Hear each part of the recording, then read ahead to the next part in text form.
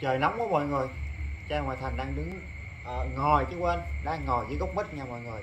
Và sẽ mít cho mọi người cùng thưởng thức nha. Mít này là mít tố nữ. Tại sao lại gọi là mít tố nữ mọi người? Tại sao ta không gọi là mít tố nam mà gọi là mít tố nữ? Nó có nguyên do của nó dành bỏ ra nha mọi người. Bỏ ra nha. Đó. tại sao người ta gọi mít tố nữ? Đây.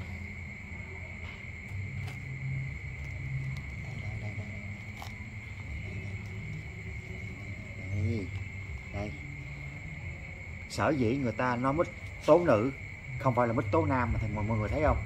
Đó là nhiều trứng nè. Ủa nam cũng có trứng à nam là có hai cái. Đó đây là nhiều nên gọi là tố nữ chứ không phải gọi là tố nam nha. Đó nếu mà nó còn có ít hơn này nữa, là gọi là tố nam mà này nhiều, nhiều quá gọi là tố nữ. Bây giờ ăn nha mọi người. Nha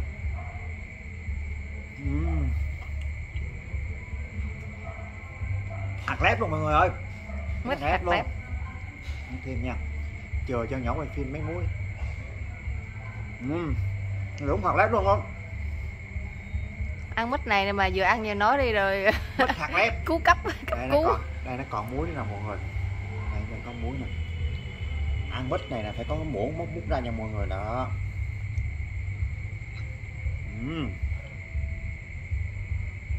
hạt lép rất là ngon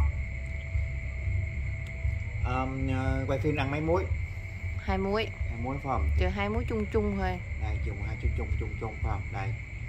Đó giờ là kêu mít tố nam nè à. cái này nè cái này là gọi là mít tố nam nha mà như vậy cho con nữ quay phim ăn. Tố nữ đã ăn xong rồi còn tố nam nha mọi người đó.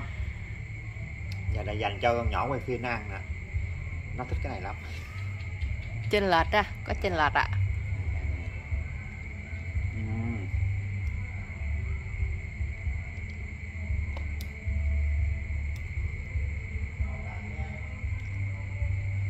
Đẹp sảy mọi người. Thôi bye bye mọi người nha cái này chưa chín. Đẩy chính quay tiếp